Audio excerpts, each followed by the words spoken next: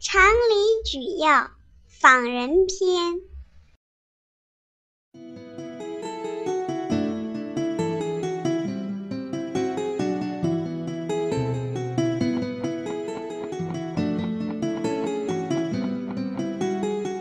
爸爸，你不是说今天下午要带我去张伯伯家吗？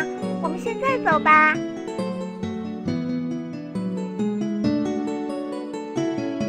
妍妍，你看，现在才一点，这个时间你张伯伯很可能在家睡午觉，在别人吃饭或休息的时候去拜访是很没有礼貌的。啊，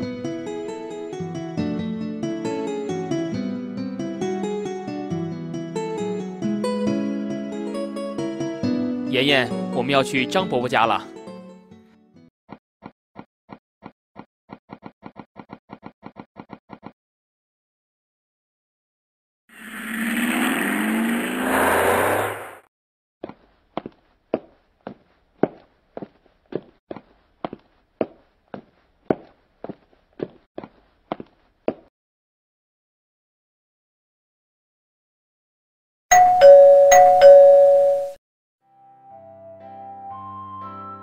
张大哥，你好啊！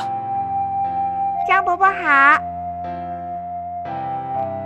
你们好啊，快请进。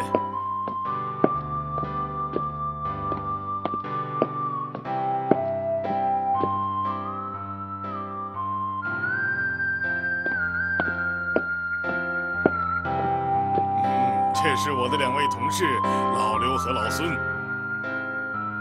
这是我的朋友老赵和他的女儿妍妍。二位好，刘伯伯好，孙伯伯好。啊，你们好。呵呵呵，妍妍几岁了？孙伯伯，我七岁了。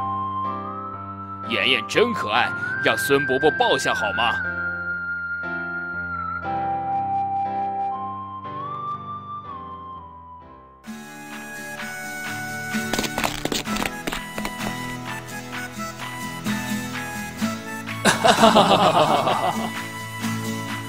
你们都坐，我给你们倒茶去。不必了，打扰你们这么长时间，我们也该走了。孙伯伯、刘伯伯再见。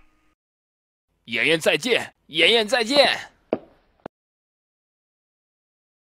爸爸，为什么这两位伯伯看到我们来了就要走了呢？这是礼节。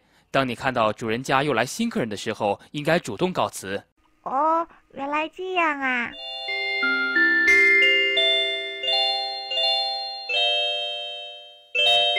爸爸，你看那两条小鱼，好漂亮啊！